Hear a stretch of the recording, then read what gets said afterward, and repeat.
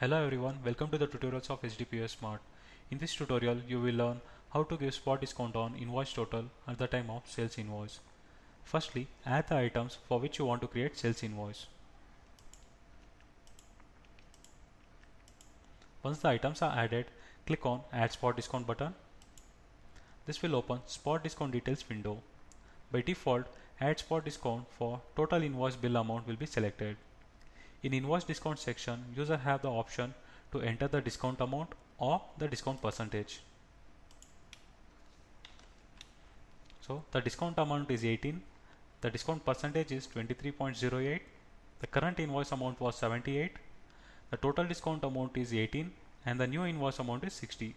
This is the invoice amount after discount. And here you can enter any note for giving the discount for this sales invoice.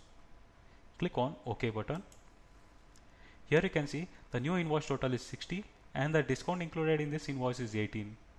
Select the customer. Click on Pay Now button. In Payment Details section, enter the amount that you have received from the customer. Click on Save Invoice. Thank you for watching this video.